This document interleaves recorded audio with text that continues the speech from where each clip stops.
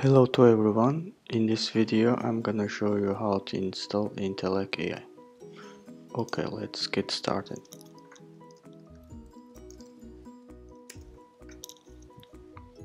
First let's let's go to the front page of Intelec AI at www.intelec.ai.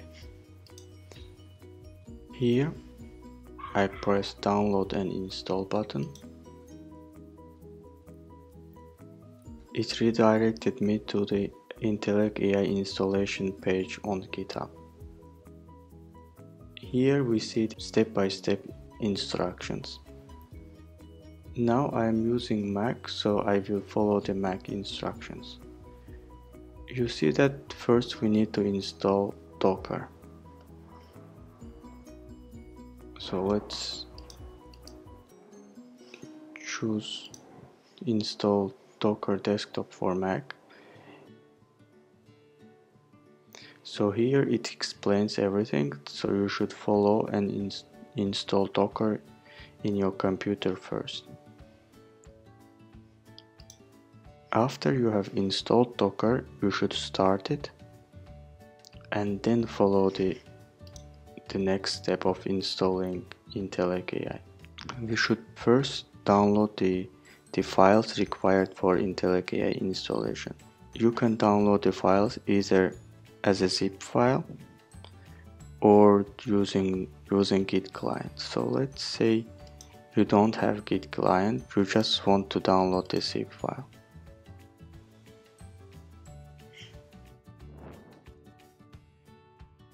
So let's see which files we have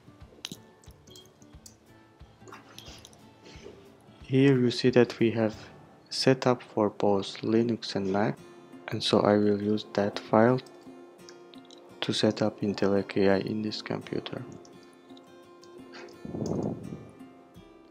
First I should read and accept the license agreement. So here I press enter to accept the agreement. Now I should create the FTP password. FTP will be used to upload and download data from to and from Intelec AI server. Now I choose a database root password.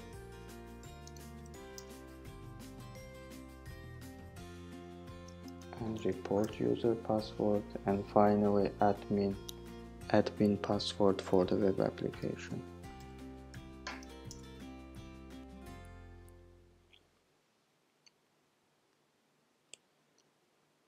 Also please make sure that Docker is running, otherwise it will it will throw an error. Okay, so installation is done. Now let's again list the files. Now we can we can start servers add Intelec AI servers using the start servers command.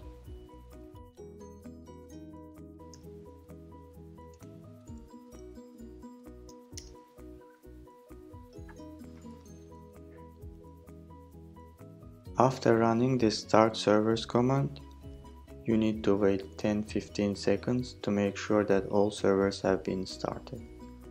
Then you can go to localhost colon 7700 you will see the login page.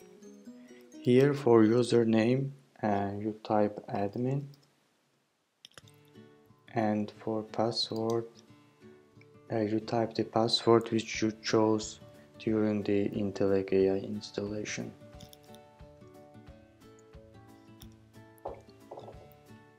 Et voila this is the home page of Intelec AI. Just to recap, uh, in this video we were able to download and install Intelec AI in a computer. In the next video I will show you how to create an object detector using Intelec AI.